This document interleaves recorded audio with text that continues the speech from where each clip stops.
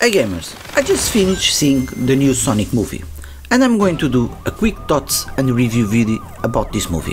The first Sonic movie is my favorite video game movie adaptation, so I was very excited to see this one.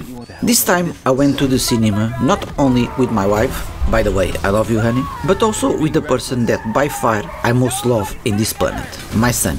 And to be honest, I was a little scared, but he behaved very very well.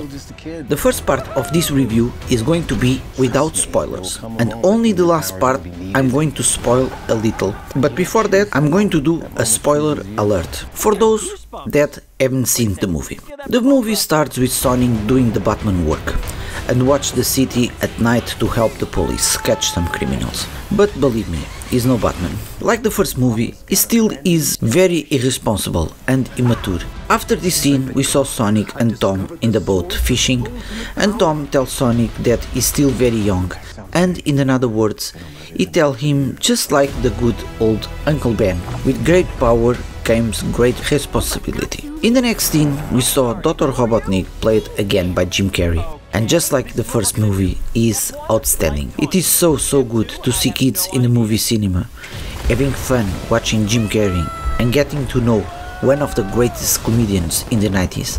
Which I think is also great to Jim to reach younger generations.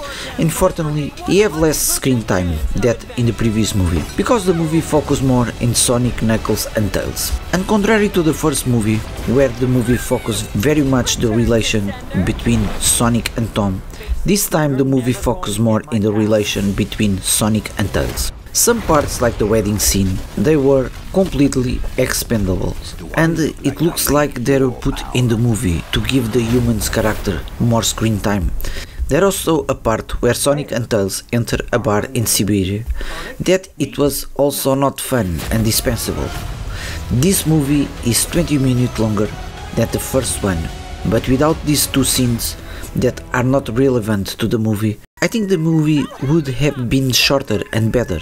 Basically, almost all the scenes that Sonic, Tails and Knuckles are not on the screen are dispensables, unless they have Jim Carrey. The snowboard scene that we saw in the trailer is great, and the fight between Sonic and Knuckles is good, and the last boss fight is great. Overall, I think the movie is a little too long, but for the most part it's very enjoyable and Tails and Knuckles are very welcome and a great addition for the movie franchise, just like they were in the games. So, my conclusion. Sonic 2 the movie is a good movie to watch, both with friends or family, and although I prefer the first one, I still like this one very much. Okay, now, spoiler alert!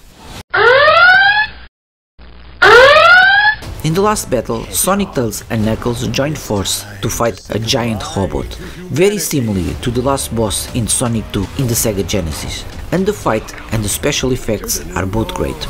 We can't tell if Dr. Robotnik died or not, but they probably do that because Jim Carrey announced that this could be his last movie. And they introduce and show Shadow opening his eyes, suggesting that there will be a third movie. So, what you all think about the movie? Please, let me know in the comments. As always, I hope you like this video and I hope to see you in the next one. Take care.